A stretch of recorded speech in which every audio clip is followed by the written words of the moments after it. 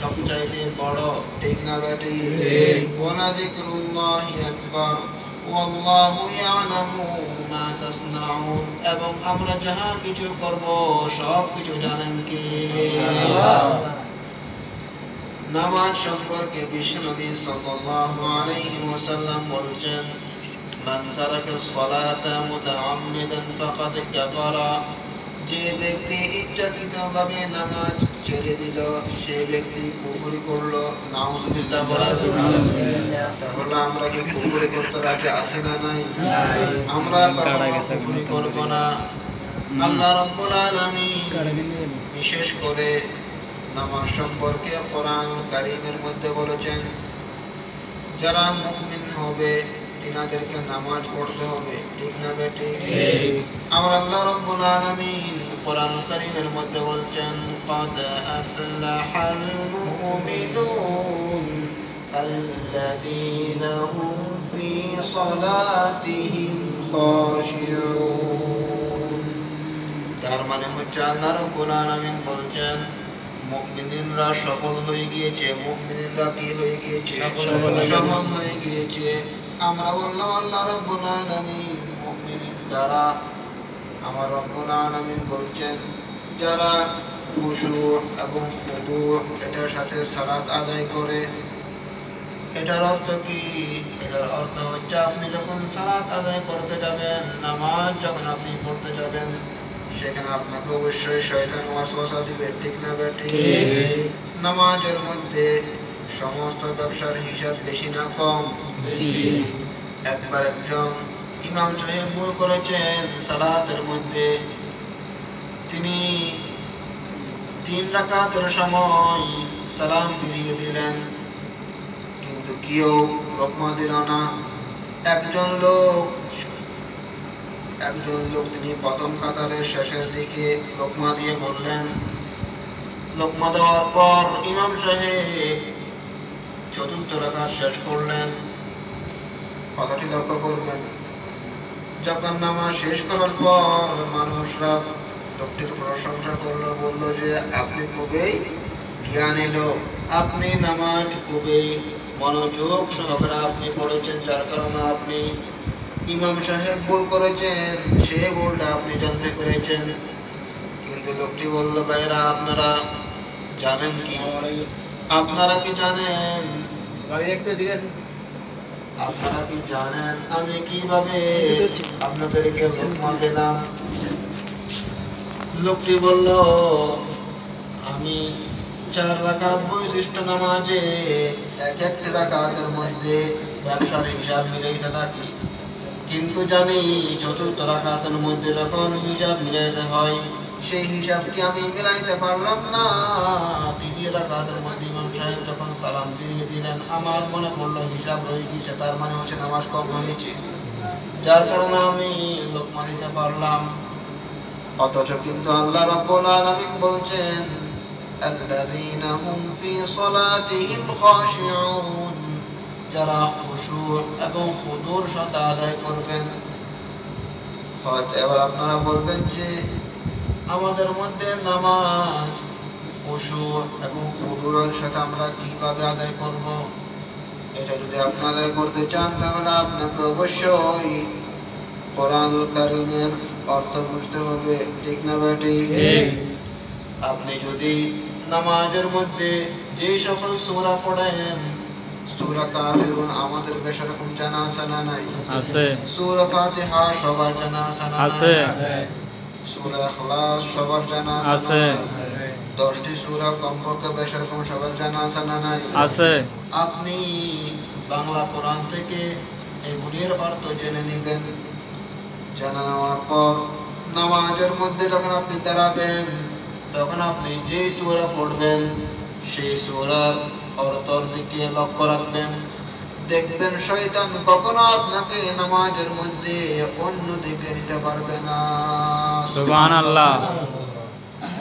কিন্তু এখন যদি আপনি সেটা অর্থ না জানেন তাহলে নামাজের মধ্যে আপনার খেয়াল অন্যদিকে যাওয়ার সম্ভাবনা আছে না নাই। হ্যাঁ?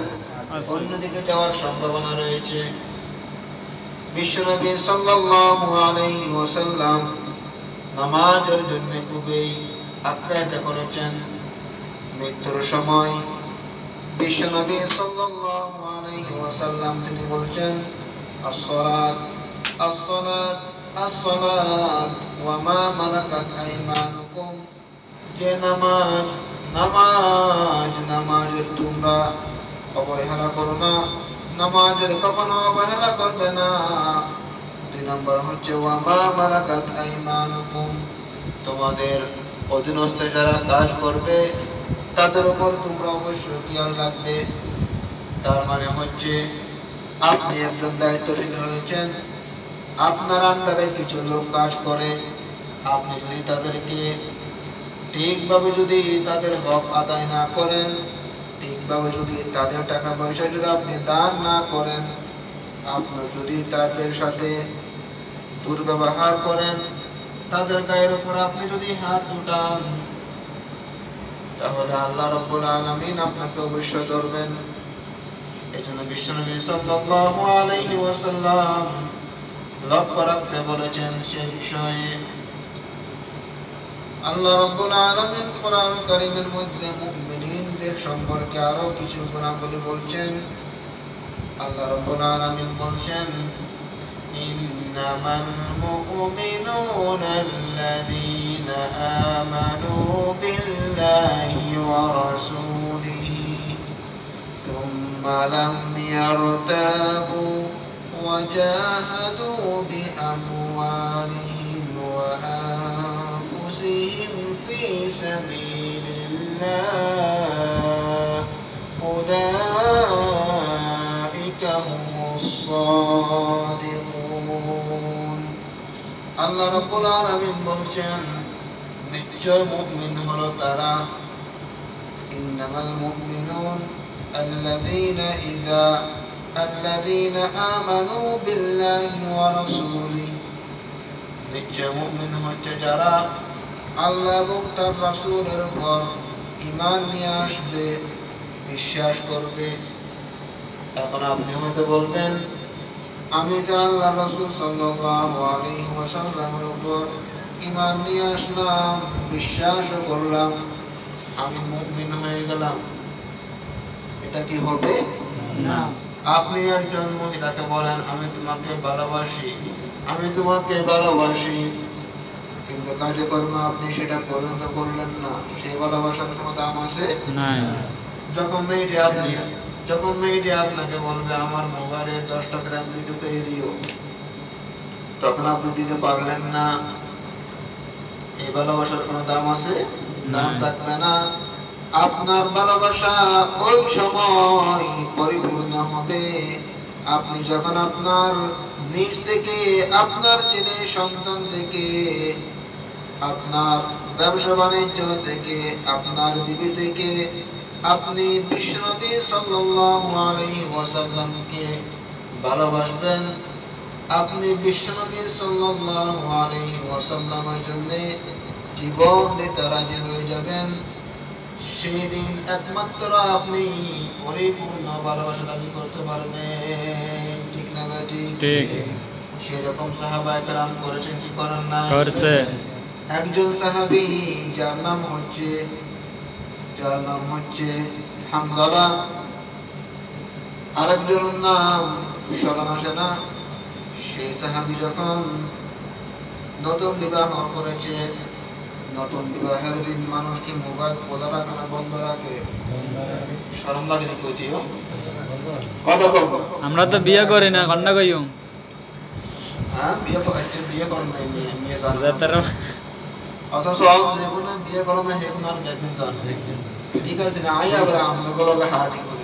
একই হার্টি আই আবার বিয়ে দিও। বুঝছেন আজ বিয়ে লাগিয়ে কিছু কথা কই সমস্যা নেই। আঙ্গ দেশের কিছু মুরব্বী আছে বুঝছেন না মাইন্ড করি নাম না আবার যে বিয়ের কথা বলে বলা মানে কয় কয় বিয়া তো কি বিয়া তো কথা মা গো, বিয়ের কথা কম যায়নি অত ফেডার মধ্যে বুক লাগিলে তো কম যায়, যে আম্মা বুক লাগছে, আমার লোকের ভাত খাবার বিয়ের কথা তো করিতে জীবনেই শেষ।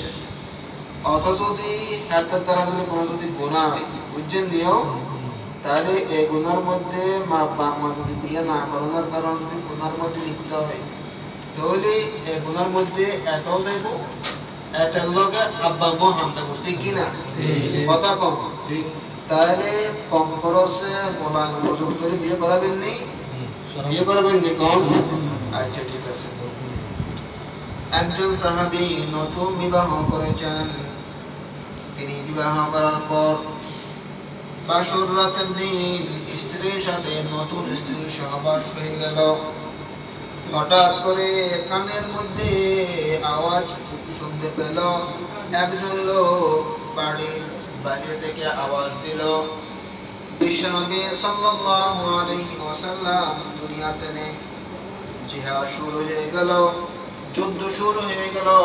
বিশ্বনবী সাল্লাল্লাহু আলাইহি ওয়াসাল্লাম দুনিয়া থেকে বিদায় নিয়ে নিলেন। আল্লাহি তাআলা বারাকাত দুনিয়া থেকে বিদায় নিয়ে নিলেন।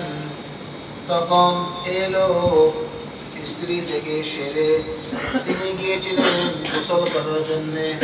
কিন্তু যখন তিনি সংবাদ শুনলেন তিনি পরজ কুশল বাদ দিয়ে সঙ্গে সঙ্গে রওনা হয়ে গেলেন। সঙ্গে তিনি হাতের মধ্যে তরবারি নিয়ে যুদ্ধের ময়দানে তিনি রওনা হয়ে গেলেন।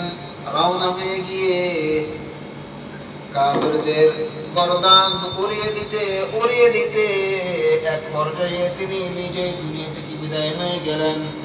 বিশ্বনবী সাল্লাল্লাহু আলাইহি ওয়াসাল্লাম যখন যুদ্ধ শেষ হয়ে গেল, সাহাবা একরামদেরকে বললেন, মাঠের মধ্যে কবর নিয়ে দেখো, কে শহীদ হয়েছেন আর কে আঘাতপ্রাপ্ত হয়েছেন। অবশ্যই তার স্ত্রী মাঠের মধ্যে আসলো, এসে বলল, ইয়া রাসূলুল্লাহ আপনার এই সাহাবী আমার স্বামী তো নাপাক অবস্থায় তিনি শাহাদাত বরণ করেছেন। এখন তার কি অবস্থা হবে? বিশ্বনবী ওয়াসাল্লাম সাহাবা একরামদেরকে বলছেন, গিয়ে দেখো, সেই সাহাবীর লাশটা কোথায় পড়ে রয়েছে? গিয়ে দেখল, অনেক দূরে লাশটি পড়ে রয়েছে মাথা একদিকে তার দেহ আর একদিকে বিশ্বনবী সাল্লাল্লাহু আলাইহি ওয়াসাল্লাম বলছেন তাকে তো গোসলের ব্যবস্থা করতে হবে। সাহাবায়ে কেরাম বলছেন ইয়া আমরা তো এই মাত্র দেখলাম লোকটির মাথা থেকে পানি ঝরছে। সঙ্গে সঙ্গে জিবরিল আমিন নাজিল হয়ে বলছেন, ইয়া রাসূলুল্লাহ দুনিয়ার কোন পানি দিয়ে লোকটাকে গোসল করাইতে হবে না। আল্লাহ রাব্বুল আলামিন জান্নাতের পানি দিয়ে সেই শহীদকে গোসল দিয়ে দিয়েছে। সুবহানাল্লাহ। বিশ্বনবী সাল্লাল্লাহু আলাইহি ওয়াসাল্লামের ভালোবাসা যখন অবশ্যই আপনার বাস্তব হবে কখন? আপনি যখন বিশ্বনবীর জন্য জান দিতে যখন আপনি প্রস্তুত হয়ে যাবেন তার আগে কিন্তু কখনো ভালোবাসার দাবি হবে না। তা বলছি বিশ্বনবী সাল্লাল্লাহু আলাইহি ওয়াসাল্লাম নামাজের কথা বলেছেন ঠিক না ঠিক। ঠিক। তাহলে আমরা যদি ঠিক মতো পাঁচ ওয়াক্ত সালাত আদায় করি বিশ্বনবী সাল্লাল্লাহু আলাইহি ওয়াসাল্লাম যেভাবে সালাত আদায় করতে বলেছেন সেইভাবে যদি সালাত আদায় করি তাহলে আমরা অবশ্যই অবশ্যই বিশ্বনবী সাল্লাল্লাহু আলাইহি ওয়াসাল্লামের ভালোবাসা দাবি করতে পারব তাহলে ইনশাআল্লাহ আমরা সালাত আদায় করব কি করব ইনশাআল্লাহ। ইনশাআল্লাহ।